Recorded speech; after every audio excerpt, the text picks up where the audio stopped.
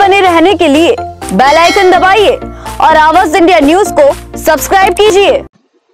Hall marking नियम के अंतर्गत एचआईयूआईडी के प्रावधानों को हटाने, बाबत नेशनल टास्क फोर्स के एक दिन के सांकेतिक विरोध का चित्तौड़गढ़ सराफा एवं स्वर्णकार सराफा एसोसिएशन ने समर्थन करते हुए राजस्थान सराफा संघ के महामंत्री किशन पिछोलिया के नेतृत्व में धरना प्रदर्शन कर वाणिज्य और उपभोक्ता मामला मंत्री पीयूष गोयल के नाम कलेक्टर को ज्ञापन सौंपा गया।